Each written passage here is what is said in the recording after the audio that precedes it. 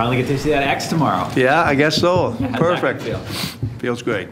Yeah. That, that's, that's what you set out to do when the season starts, and we got that accomplished. Now we got nine games to get ready for and finish as high as we can. Keep winning games and keep playing well.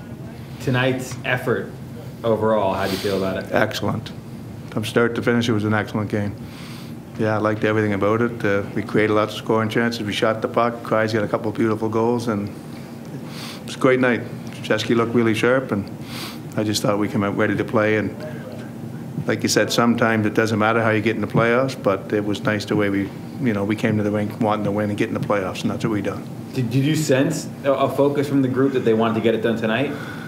Yeah, no, I mean, it's hard to tell, seriously. I mean, two weeks ago when we played the Islanders, I focused, I thought the group was focused to play and we didn't, and so those games happened. But I thought, you know, from the first period on, they were playing their game, they were moving the puck, we did the right things, and I liked the way we played.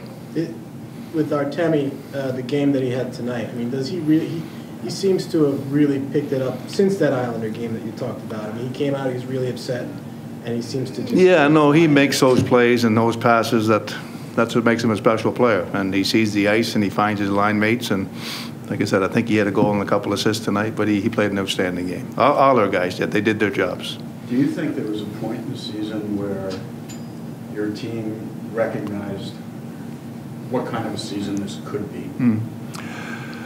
Well, it wasn't the first 12 games, but uh, I think, I think somewhere around Christmas, where, we- when we were playing really well, I think we went 11 and 1 or some, somewhere in that area. And, you know, we were playing the right ways and we were winning games. We weren't winning lucky because the goalie stood in his head. And I think that at that time they said, you know we got something special. And the guys are, it's a good group of guys. And like I said, it's, it's been a lot of fun. We've won games a lot of different ways this year. There's no doubt about that. And, but uh, they stuck together. And again, it's not over yet. We got nine, nine big games to play and finish as high as we can. Do you want the team to turn their sights onto first place? Is that, you know? Well, it better be. I think we're tied right now, so. Yeah.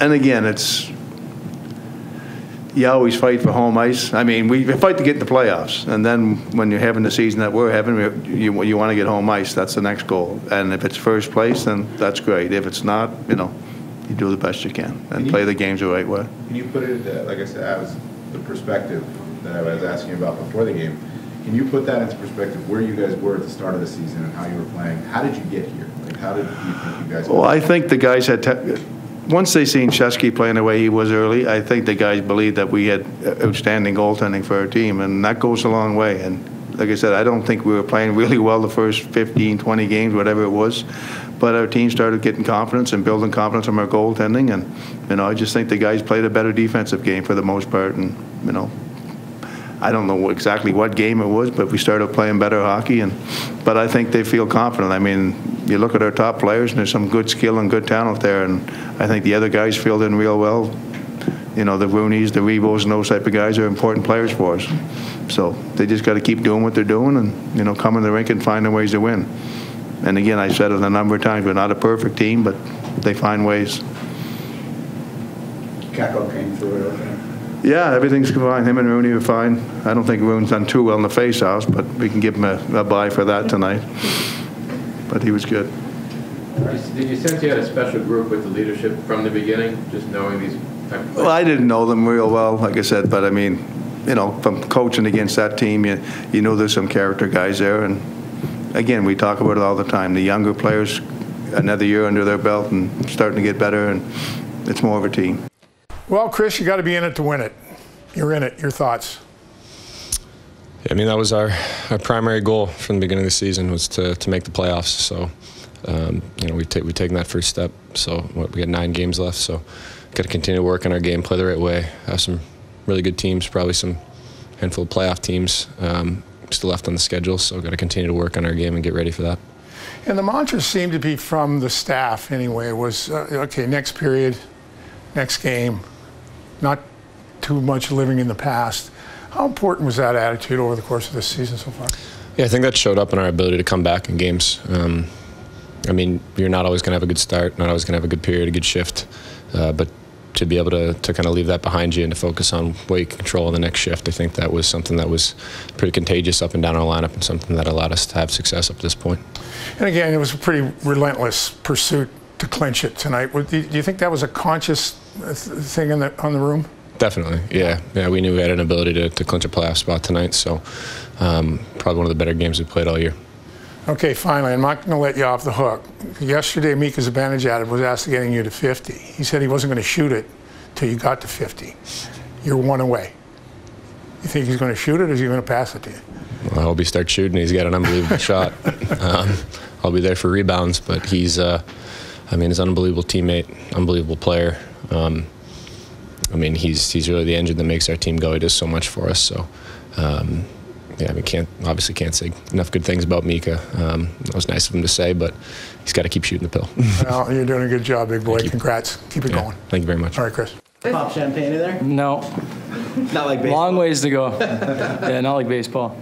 What is it like in the locker room right now, though? Do you allow yourself to celebrate, or? Yeah, I think we'll enjoy it for the night for sure. Um, you know, feels like yesterday I got here, but it was like four years ago, and you know, times were tough, and you know, last few years haven't always been the most fun, and but. Uh, I feel like this has snuck up on us a little bit. You reach a 100 point mark and you clinch a playoff spot, and um, the building was unreal tonight. Just the energy in the building, even in warm ups, it was pretty full, and um, it's just a, it's just a good feeling. I think we've come a long way as a group, and um, this was our goal from one of our goals starting the year and end of last year, and you know we've uh, ticked off one of those boxes. So.